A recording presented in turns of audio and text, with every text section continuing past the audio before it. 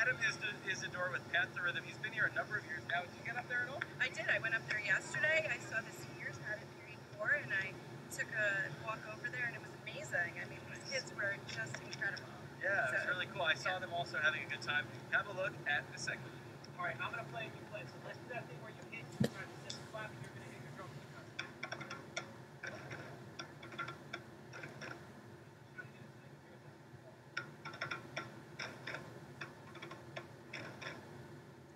Do a drumming program. So we work with kids in schools and summer camps, and we work with adults in team building and corporate trainings and live conference events. We love Camp Canadensis. Camp Canadensis is so close to my heart.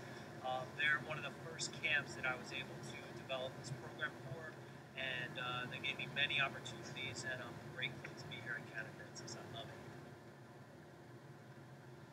What we're doing with the campers today is we're giving them a chance to play the drums together to make music, and drumming is the easiest entry level to be able to make music together because we're not dealing with tuned instruments, it's just rhythm.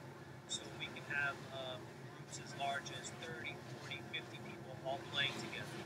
And what we're doing is building camp um, spirit and enthusiasm, and it's really just a way that we can celebrate camp and kids can get a little bit of music instruction in there.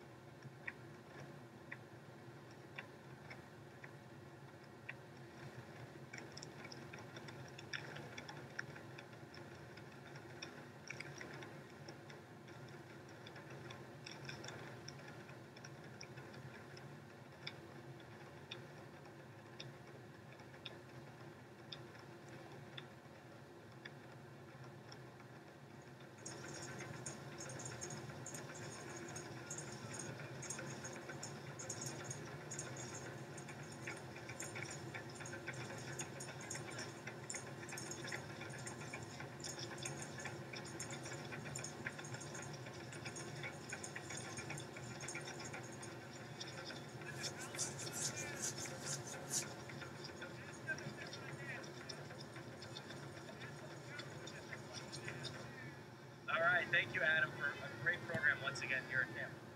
What's the next?